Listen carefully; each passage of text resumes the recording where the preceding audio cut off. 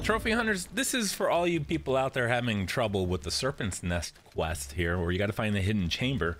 And for this, you need to place four colored books in the correct order on the pedestals. So we're in the area where we're going to unlock the hidden chamber. If you're struggling with this quest, you know exactly where we're at.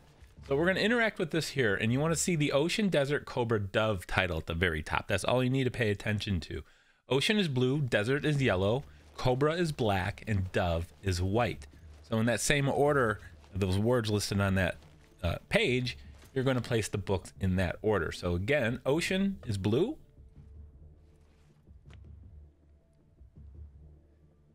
Desert is yellow.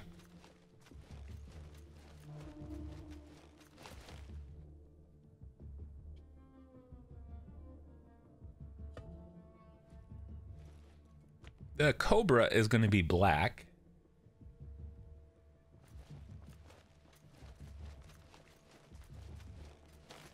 And then the final one is Dove, which is going to be the white one. Once you've placed all four of them, the secret entrance will be revealed and you can move on with your quest. Quite simple. I know it can be a little confusing, but uh, don't worry if you didn't figure it out. It took me a minute to. So there we go. Thank you guys for watching. If you found this video helpful, please let me know by hitting that like button. And if you're a trophy hunter, consider subscribing. See you guys soon.